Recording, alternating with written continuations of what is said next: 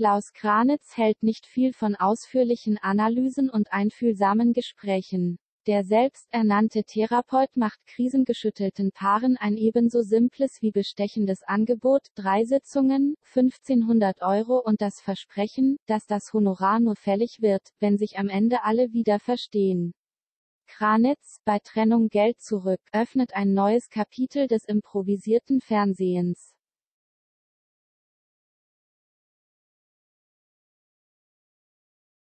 Die Hauptrolle in der Comedy-Serie, die ab sofort in der ARD-Mediathek abrufbar ist, spielt Regisseur und Schauspieler Jan-Georg Schütte.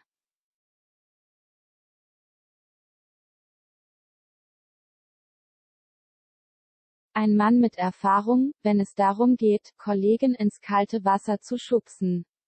Denn nur die Geschichten und Charaktere sind im Drehbuch umrissen, Dialoge müssen improvisiert werden. Das ist so erfrischend, dass es für Altersglühen, Speed Dating für Senioren 2014 und für immer Sommer 90 2020 sogar einen Grimme-Preis gab.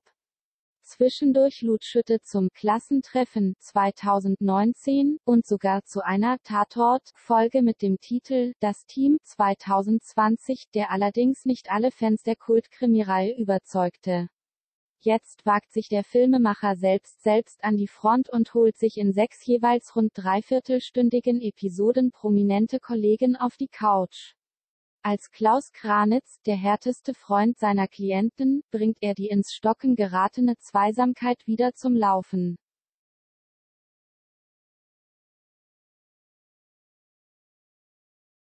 Seine Therapiemethode, schnell, direkt, effektiv und pragmatisch. Die Wahrheit muss raus, die Karten auf den Tisch, alles andere ist langwierige Trennungsbegleitung und damit Zeitverschwendung. Auf seiner Couch landen Verschwörungsgläubige, Charlie Hübner, und Auftragskiller, Bjarne Mädel, Heiratsschwindler, Anna Schutt, und Althippies, Günther Maria Halmer und Angela Winkler.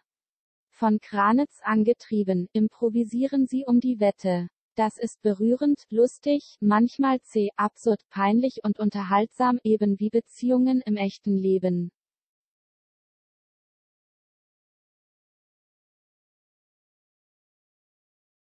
Für Jan-Georg Schütte aber ist es die beste Art, Fernsehen zu machen.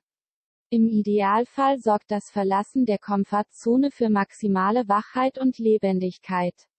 Pannen eingeschlossen.